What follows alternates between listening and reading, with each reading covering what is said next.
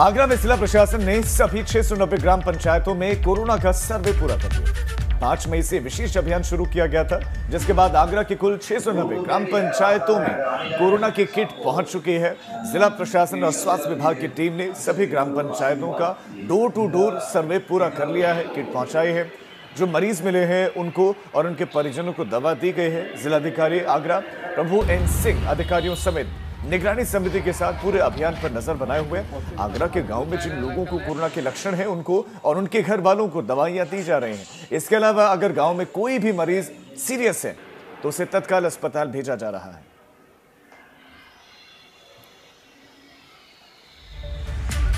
सुल्तानपुर में ऑक्सीजन संकट दूर करने को लेकर शुरू हुई पहल। अब रंग लाने लगी है। करीब 10 दिन के भीतर सुल्तानपुर में विधायक निधि से ऑक्सीजन प्लांट लगकर तैयार हो गया है। शुरुआती स्तर पर यहाँ करीब 10 बेड्स पर मरीजों को निर्बाध ऑक्सीजन की आपूर्ति होने लगेगी। कादीपुर के भाजपा विधायक ने बीते 24 अप्रैल को सीडीओ सुल्तानपुर को पत्र लिखकर कादीपुर सामुदायिक स्वास्थ्य केंद्र में ऑक्सीजन प्लांट लगवाने की बात कही थी। इसी को लेकर 45 एलपीएम का ऑक्सीजन प्लांट लगवाने के लिए ऑर्डर दिया गया और बीते 2 मई से काम शुरू हुआ और आज ये प्लांट कादीपुर सामुदायिक स्वास्थ्य केंद्र में बनकर तैयार हो गया। माननीय विधायक जी कादीपुर के विधायक निधि से लगा है। और ये जिस कंपनी ने अयोध्या में सप्लाई किया है, उन्हीं से फिर टाइप करके इस प्लांट को मंगाया गया है। और काफ़ी रिकॉर्ड समय में हुआ है, जहाँ तक मुझे पता है, ये विधायक निधि से पहला प्लांट लग पाया है पूरे प्रदेश में। और इससे एक होगा कि क्षेत्रीय जनता को, सिर्फ़ ऑक्सीजन के लिए जिनको बाहर जिला रेफर होना पड़ता है देश में जहाँ ऑक्सीजन की किल्लत सामने आ रही है, वहाँ पर कुछ लोग ऑक्सीजन की किल्लत खत्म करने के लिए देवदूत बनकर भी सामने आ रहे हैं। बीजेपी के एक नेता ने निजी तौर पर शाहबस्ती के एल टू हॉस्पिटल में ऑक्सीजन प्लांट लगाने का काम शुरू किया है, जिसका काम तेज़ी से चल रहा है। प्रधानमंत्री नरेंद्र मोदी के प्रमुख सचिव नृपेंद्र मिश्रा के बेटे और पूर्वांचल विकास बोर्ड के सलाहकार साकेत मिश्रा ने अपने निजी फंड से श्रावस्ती में ऑक्सीजन प्लांट का शुभारंभ किया। जल्द ही श्रावस्ती में ऑक्सीजन सप्लाई का काम शुरू हो जाएगा। आज जो है, हमारे जनपद में एल टू जो सी एस सी भंगा है, जहाँ पे हमारे कोविड के पेशेंट सीरियस पेशेंट्स एडमिट हैं। उनके लिए 10 से 15 बेड की कैपेसिटी का एक P S A plant C S R के माध्यम से यहाँ पे उपलब्ध कराया गया है और हम उसको लगाने की प्रक्रिया कर रहे हैं। पाइपलाइन ऑलरेडी लग चुकी है प्लेटफॉर्म बन चुका है, सारे टेक्नीशियंस आ गए हैं और हमें उम्मीद है कि बहुत जल्दी ये प्लांट शुरू हो जाए। कोरोना संकट की वजह से उत्तर प्रदेश में एक के बाद एक लगातार परीक्षाएँ टलने का सिलसिला जारी है और अब कोरोना संकट को देखते हुए यूपी लोक सेवा आयोग की परीक्षाएँ भी स्थगित कर दी गई हैं। यूपी पीएससी 2021 की प्रारंभिक परीक्षाएँ कोरोना संकट को देखते हुए टाल दी गई हैं। इस बार करीब सात लाख से ज़्यादा अभ्यर्थियों ने यूपी लोक सेवा आयोग की परीक्षाओं के लिए आवेदन किया था और 13 जून को प्रदेश के कई जिलों में इस परीक्षा का आयोजन किया जाना था। लेकिन कोरोना संकट की वजह से अब ये परीक्षाएँ नहीं हुई।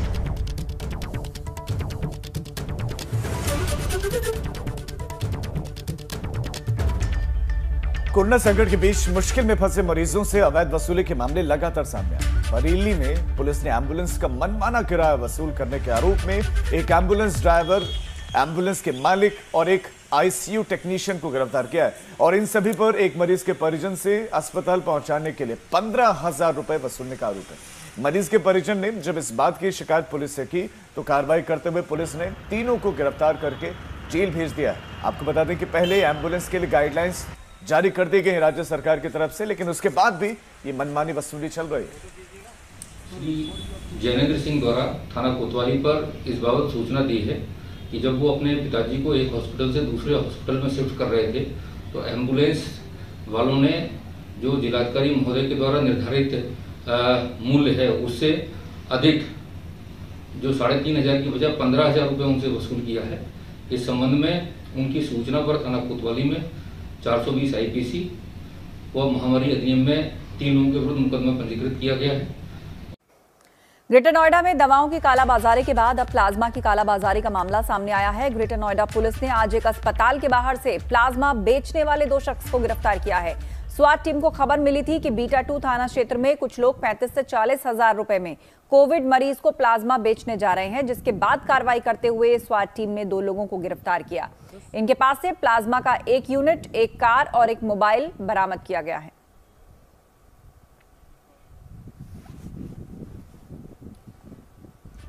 शाहजहांपुर में मेडिकल स्टोर से साठ गांठ कर डॉक्टर कोरोना काल में कमाई में जुटे हुए हैं। एक मरीज़ के परिजन के मुताबिक पंद्रह दिन से सात हज़ार की जो दवाइयाँ डॉक्टर के बताए मेडिकल स्टोर से खरीद रहे थे, उस दवाई की असल कीमत दूसरे मेडिकल स्टोर में सिर्फ़ ग्यारह सौ रुपए निकले। मामला संज्ञान में आने के बाद, डीएम ने जाँच कराने के बाद रिपोर्ट दर्ज करने के निर्देश पुलिस को दिए। पीड़ित की तहरीर पर डॉक्टर समेत तीन लोगों पर रिपोर्ट दर्ज कर ली गई है।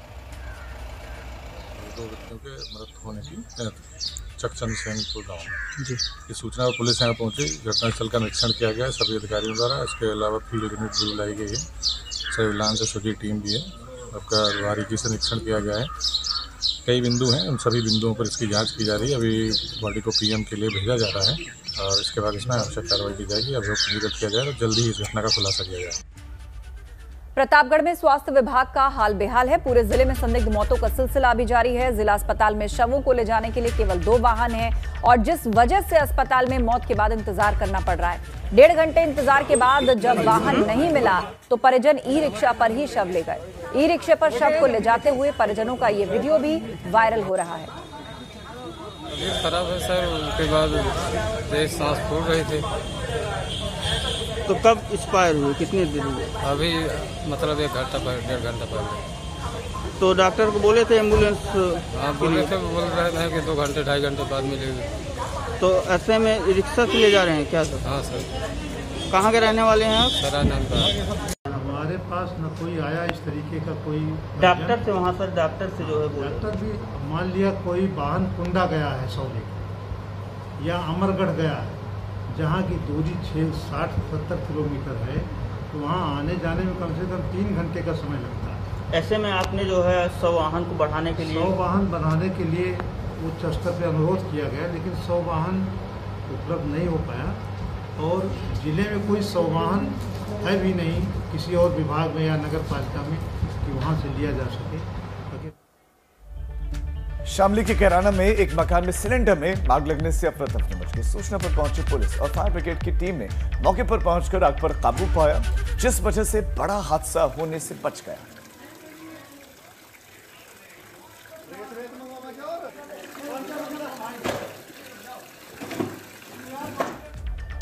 नोएडा फ़ेज़ टू क्षेत्र के सी फिफ्टीन स्थित एक्सपोर्ट कंपनी में भीषण आग लग गई और बताया जा रहा है कि शॉर्ट सर्किट के कारण ये आग लगी है। जिससे कंपनी की छत पर रखे हुए कपड़े और गत्ते धू धू करके जलने लगे। आग लगने के बाद आसपास की बिल्डिंग्स खाली कराई गई। मौके पर पहुँची फायर ब्रिगेड की तीन गाड़ियों ने काफ़ी मशक्कत के बाद आग पर काबू पाया। इसमें किसी के हताहत होने की खबर नहीं है।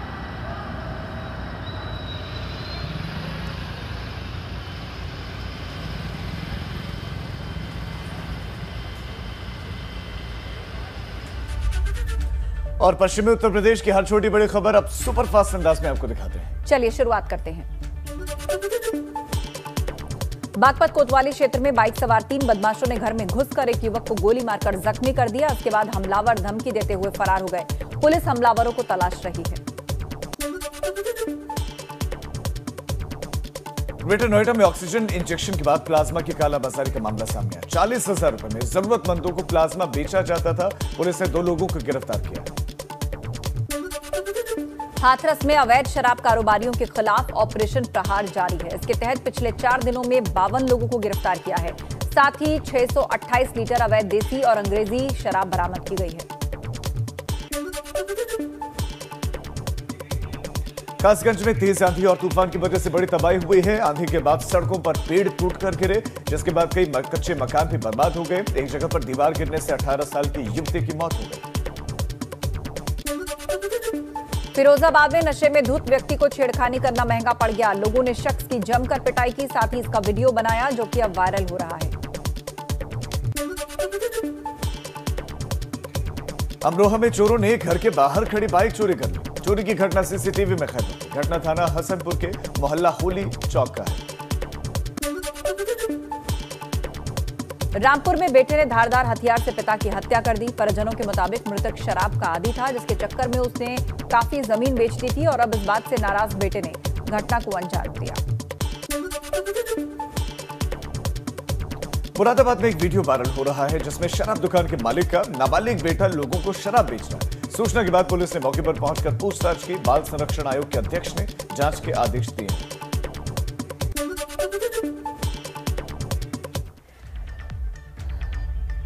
पश्चिमी उत्तर प्रदेश की जो खबरें हैं, वो सुपरफास्ट अंदाज में आपने देखी, अब आगे बढ़ते हैं। जी, आगे बढ़ते हैं, अगली खबर का रुख करते हैं, और अगली खबर नैनीताल के कैंची धाम मंदिर से हमें मिल रही है, जहाँ बादल फटा है और बड़ा हादसा हुआ है। कैंची धाम मंदिर में पहाड़ी से भारी मलबा आने से भंडारण और राशन गोदाम समेत स्टाफ रूम को नुकसान पहुँचा। भवाली से अल्मोड़ा जाने वाले मार्ग में भी कई जगह सड़क पर मलबा आने से यातायात प्रभावित हो गया। हालाँकि प्रशासन मार्ग खोलने में जुटा है। बुधवार देर शाम को बरसात और तेज आवाज़ के साथ पहाड़ी से मलबा कैंची धाम परिसर में आ गया। कैंची धाम वो जगह है जहाँ पर मार्क जकरबर्ग, स्टीव जॉब्स जैसी बड़ी बड़ी हस्तियाँ पहुँची और वो जो कुछ भी आज है, वो इस बात का क्रेडिट देते हैं कि ये सब जो कुछ है, वो यहीं से आशीर्वाद उनको मिला, वो तब है और उसी धाम में भंडारे का जो जो सामान था, जो स्टोर रूम था, उसको भी बड़ा नुकसान पहुँचा है। और ये देखिए सड़क है मेन सड़क है, जो आगे कई जगहों को जोड़ती है। पूरे के पूरा कुमाऊं मंडल को जोड़ती है, कुमाऊं क्षेत्र को जोड़ती है।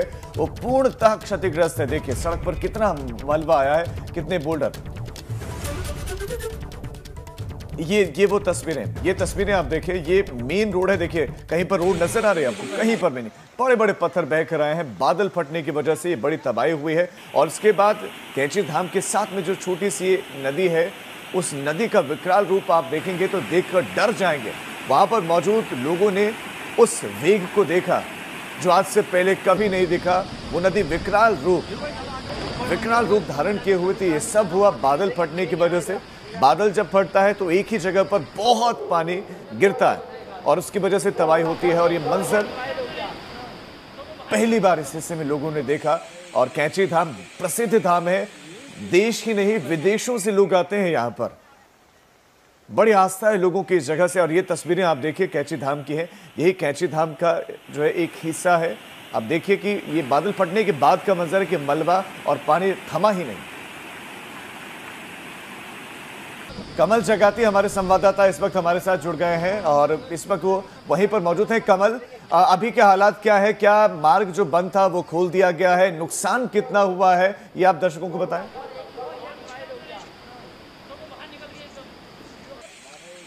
जी राजीव, मैं सबसे पहले तो आपको ये बता दूँ कि एबीपी गंगा की जो टीम है वो एक्सक्लूसिवली मंदिर पे चार नदी नाले क्रॉस करके गई है। बहुत विषम परिस्थितियों में हम लोग वहाँ पहुँचे और वहाँ का वीडियो बना करके अपने दर्शकों तक पहुँचाया। मंदिर के हालात मंदिर परिसर जो जहाँ भगवानों की मूर्तियाँ स्थापित हैं, वहाँ तो बहुत सेफ़ था, लेकिन जो भंडारण है, जो भोजन ग्रह हैं, उनको थोड़ा नुकसान हुआ है। साथ में एक स्टाफ रूम को हुआ है। और एक सब, सबसे बड़ी बात, वहाँ पे कार मौजूद थी, जिसको जिसको मलबा दबा सकता था, लेकिन मलबे के थोड़ा धीरे आने की वजह से उस कार को भी वहाँ से हटा लिया गया। तो ऐसे अगर हम दूसरे मायनों में इसे देखें तो भगवान ने, वहाँ महाराज ने ऐसी लीला करी है कि उसको पूरा सेफ़ रखा है, सुरक्षित रखा है। और इस मंदिर के बारे में पहले भी कहा गया है कि भक्ति धाम का ये मंदिर पहले भी बहुत सेफ़ रहा है। आज तक यहाँ कोई आपदा नहीं आई। इसके आगे चलने वाली शिप्रा नदी कभी भी इतनी रौद्र रूप में नहीं आई। कल जो ये इतनी बड़ी आपदा थी, उसमें चारों तरफ़ से पानी आया और मंदिर परिसर में मलुआ घुसा है। उसके बावजूद यहाँ कोई नुकसान नहीं हुआ। इस मंदिर के लिए पहले भी कहा जाता था कि यहाँ आस्था बढ़ते गई बढ़ते गई और उसके बाद यहाँ भंडारे लगने शुरू हुए। महाराज ने यहाँ भंडे, भंडारे लगाए और भंडारों में सीमित संसाधनों के चलते उनके पास व्यवस्थाएँ नहीं थी। घी के पुए तले जाते थे, लेकिन वहाँ परिस्थितियाँ नहीं होती थी। महाराज ने कहा पानी में घी के पानी में तल दीजिए इन पुओं को। और पानी में तलने के बावजूद वहाँ सारे पुए तले और सारे भक्तों तक पहुँचे थे। तो राजीव इस मंदिर के बारे में तो पहले से ही सारे लोग इतनी ज़्यादा आस्था रखते थे। आज इस मंदिर में इस आपदा को रोक करके महाराज ने एक बार फिर कर दिखाया है कि मंदिर में बहुत बड़ा बिल्कुल एक राहत की बात है। अच्छी बात है कि जान माल का नुकसान नहीं हुआ। बहुत शुक्रिया आपका कमल इस तमाम जानकारी के लिए। और अब आगे बढ़ते हैं उत्तराखंड की खबरें सुपर फास्ट अंदाज में आपको दिखाते हैं। चलिए शुरुआत करते हैं। आपदा प्रभावित क्षेत्र देवप्रयाग में सीएम तीरथ सिंह रावत ने निरीक्षण किया। ग्राउंड ज़ीरो पर जाकर प्रभावित लोगों की मदद के निर्देश दिए। मंत्री, विधायक और अधिकारी भी मौजूद रहे।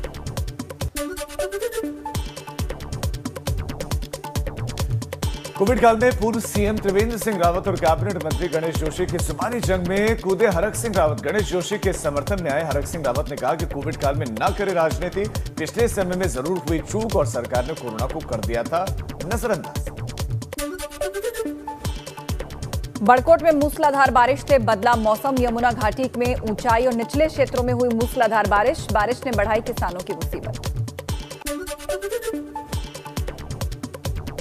बागेश्वर में लगातार हो रही बारिश और ओलावृष्टि से किसानों की बड़ी परेशानी। तेज बारिश से ऊंचाई वाले इलाकों में ओलों से सबसे ज़्यादा नुकसान। गेहूँ, अखरोट, आड़ू की फ़सल चौपट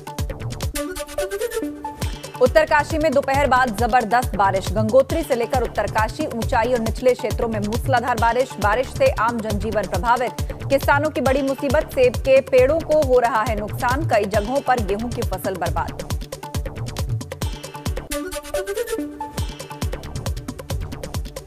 मसूरी में बदलते मौसम से लोगों को हो रहे खांसी, जुकाम और बुखार और लोगों को अब सता रहा है कोविड का डर। बुधवार को भी दोपहर में अचानक बारिश और ओलावृष्टि से तापमान में गिरावट आई है। खबर रुद्रप्रयाग से है, जहाँ तुनेटा में बिना रजिस्ट्रेशन के 130 वैक्सीन की डोज लगा दी गई। इसके बाद यहाँ हंगामा खड़ा हो गया। स्वास्थ्य विभाग के आंकड़ों में कुल 90 डोज दी गई। आपको बता दें कि रुद्रप्रयाग में 18 साल से ज़्यादा उम्र वालों के लिए भी वैक्सीनेशन शुरू हो गया है। लेकिन रुद्रप्रयाग ज़िले में कई जगहों पर स्वास्थ्य विभाग की भारी लापरवाही देखने को मिल रही है। तुनेटा में स्वास्थ्य विभाग ने बिना रजिस्ट्रेशन और बिना स्लॉट बुक किए ही 130 लोगों को वैक्सीनेट कर दिया, जबकि जिन लोगों का रजिस्ट्रेशन हुआ था, उन्हें वैक्सीन नहीं लगी। दूसरी ओर कोरोना संक्रमण के कारण एक ही परिवार के दो व्यक्तियों की मौत के बाद स्वास्थ्य विभाग ने परिवार के अन्य सदस्यों का कोरोना सैंपल नहीं लिया। जिस कारण उन्हें भी डर सता रहा है। परिवार के अन्य सदस्य सोशल मीडिया के माध्यम से स्वास्थ्य महकमे से सैंपल लिए जाने की गुहार लगा रहे हैं। मैं यहाँ कल स्लॉट बुक कराया था चुनेटा यहाँ रुद्रप्रयाग में। और फिर जब हम यहाँ, हमें 11 बजे से एक बजे तक की टाइमिंग दी गई थी कि उस समय पे आप यहाँ आके वैक्सीनेशन करवा दीजिए। हम यहाँ 11 बजे आए, हमें जब, जैसे ही हम यहाँ आए, हमें इन्होंने बताया कि वैक्सीन खत्म हो चुकी है। वैक्सीन नहीं लग पाई है और मेरा जो टाइम स्लॉट हुआ था वो ग्यारह से एक बजे तक का था। लेकिन यहाँ पे ऐसी भगदड़ मची है कि जो जो स्टॉक आया था वो ऑलरेडी ख़त्म हो चुका है। अब शायद ये लोग कह रहे हैं कि हम व्यवस्था करते हैं आप लोगों के लिए। लेकिन मुझे ये नहीं पता जो तीन से छः जिनका स्लॉट है वो लोग क्या करेंगे। अठारह से पैंतालीस वर्ष का जो वैक्सीनेशन का प्रोग्राम है उसके अंदर विदाउट स्लॉट जो है लोगों को अलाउड नहीं है। संभवतः इस प्रकार की यदि कोई शिकायत है तो कन्फ्यूज़न ये रहा होगा जो लोगों को कि फ़र्स्ट डे जो हमारा चालू हुआ था तो उसमें लोग रजिस्ट्रेशन को ही अलॉटमेंट मांग के शायद कहीं पे आ गए होंगे। जिनको बता दिया गया था कि इस प्रकार का विदाउट अलॉटमेंट संभव नहीं हो पाएगा। रुड़की में कोविड कर्फ्यू गाइडलाइंस को लेकर पुलिस, प्रशासन एक्शन मोड में नज़र आ रहा है। रुड़की में पुलिस ने बेवजह सड़कों पर घूमने वालों के खिलाफ सख्ती की। कोविड के नियमों का पालन न करने वालों के चालान काटे। चालान काटकर कार्रवाई करते हुए उनको समझाया गया और एसपी देहात का कहना है कि जो भी कोविड गाइडलाइंस का उल्लंघन करेगा, उस पर सख्त कार्रवाई की जाएगी। देखिए, इसमें हम लोग लगातार कार्रवाई कर रहे हैं। कल भी हम लोगों के द्वारा एक अट्ठासी के चलान किए गए थे और अगर इस तरीके की कोई बात संज्ञान में आ रही है और हमारे द्वारा पाया जा रहा है तो हम उसके खिलाफ विधान, जो भी वैधानिक कार्रवाई, वो भी कर रहे हैं। और सोशल डिस्टेंसिंग को फॉलो कराने के लिए लगातार हम लोग भी प्रयास कर रहे हैं। और कुछ जगह पर शिकायतें मिल रही उनके खिलाफ कार्रवाई करें। कोरोना कर्फ्यू का पालन कराने के लिए काशीपुर पुलिस को अब सख्ती करनी पड़ रही है। कोरोना के प्रति लोगों में जागरूकता आए, इसके लिए काशीपुर पुलिस ने कई स्थानों पर फ्लैग मार्च किया और लोगों को सचेत किया। बिना वजह सड़कों पर घूम रहे लोगों की खबर लेने के अलावा बिना मास्क बाहर निकलने वालों के भी चालान काटे गए। आपको पता है कि अभी जो मार्केट टाइमिंग है हमारी जो सब्ज़ी फल और की दुकानें हैं, उनका टाइमिंग सात से दस कर दिया गया है। इसी के संबंध में पब्लिक को आगाह करने के लिए हैं और जो अनावश्यक रूप से खेले हैं दुकानें खुली हैं तो उनके विरुद्ध कार्रवाई करने के लिए, उनको अवेयर करने के लिए काशीपुर पुलिस के द्वारा जो है फ्लैग मार्च किया गया था, जिसमें हमारे A S P S C साहब जो हैं कोतवाल साहब हैं, हमारे थाने की पुलिस है, चौकी की पुलिस है सी पी है ट्रैफ़िक है होमगार्ड और पी आर डी उन सबके द्वारा जो है इसमें पार्टिसिपेट किया गया है।